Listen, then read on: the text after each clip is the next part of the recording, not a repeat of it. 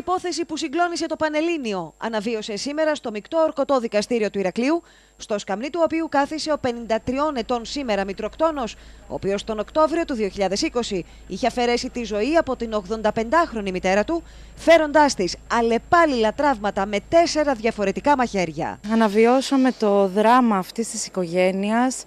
Αναβιώσαμε δυστυχώς όλες αυτές τις δυσάρεστες ε, σκηνές που περιγράφηκαν σαν ένα σκηνικό από θρίλερ. Ήταν κορύφωση του δράματος και νομίζω ότι σήμερα η δικαιοσύνη απέδειξε ότι σκέφτεται πραγματικά και την ανθρώπινη μεριά των ιστοριών, των τραγικών αυτών ιστοριών και δεν έμεινε στο γράμμα του νόμου, αλλά εφάρμοσε το πνεύμα. Το σπίτι της οικογένειας στο Μασταμπά είχε μετατραπεί σε σκηνικό από θρίλερ.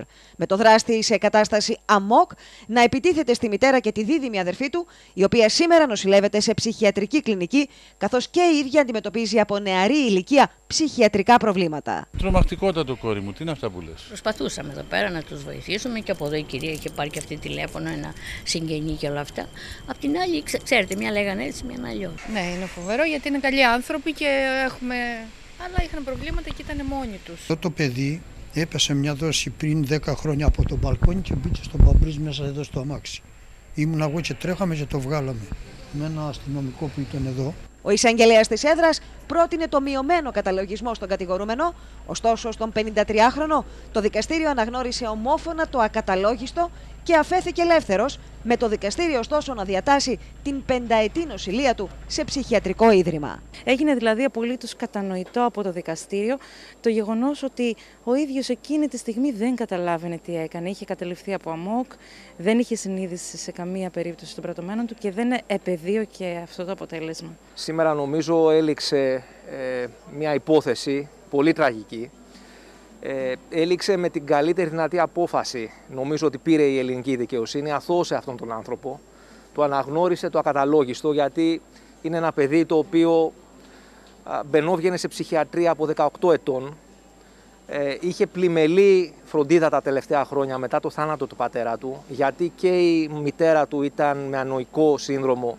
και η αδερφή του με διπολική διαταραχή, δίδυμη αδερφή του δεν έπαιρνε τα φάρμακα τον τελευταίο καιρό και φτάσαμε σε αυτό το τραγικό σημείο. Ικανοποιημένη από την έκβαση της υπόθεσης, δήλωσε η συνήγορος υπεράσπισης του 53χρονου, η οποία έκανε λόγο για μια οικογενειακή τραγωδία και για έναν άνθρωπο που από μικρή ηλικία αντιμετώπιζε σοβαρά ψυχιατρικά προβλήματα, ενώ μεγάλο διάστημα πριν την τραγωδία που εκτελήχθηκε δεν ακολουθούσε όπως έπρεπε τη θεραπεία του. Είμαι απολύτως ικανοποιημένη από την έκβαση.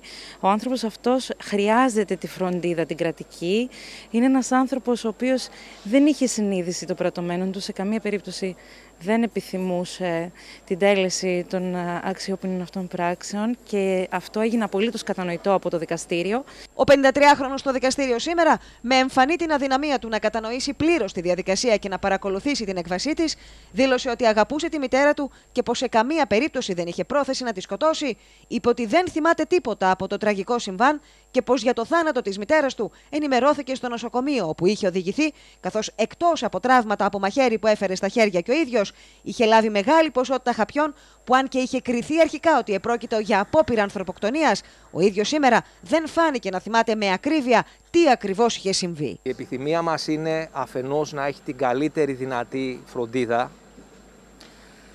Προφανώς πρέπει να γίνει άρση της δικαιοπραξίας, να μπει σε δικαστική συμπαράσταση και από εδώ και πέρα να είναι σε κάποια δομή είτε ανοιχτού είτε κλειστού τύπου, αυτό θα το κλείνουν οι γιατροί, στην οποία να μπορεί να έχει ακριβώς τη φροντίδα που χρειάζεται ώστε να μην ξαναοδηγηθούμε σε κάποια τέτοια κατάσταση πλέον.